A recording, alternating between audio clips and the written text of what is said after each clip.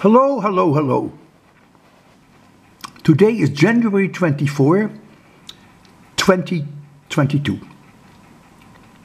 This is problem number 133.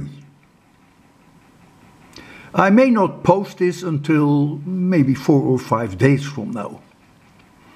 Remarkable picture that was on the news a few days ago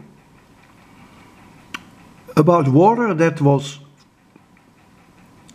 freezing with very strange patterns. And what the problem is all about, of course, is how can you explain these patterns? Under what conditions would they happen? I don't blame you that you have to search online and then find solutions or suggested solutions. That's what I want you to do because you have to learn also to deal with Google to find solutions to problems. And this is really a classical case.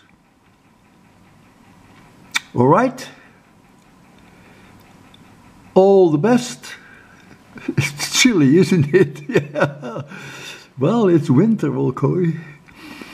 So good luck. Can't wait to see your solutions.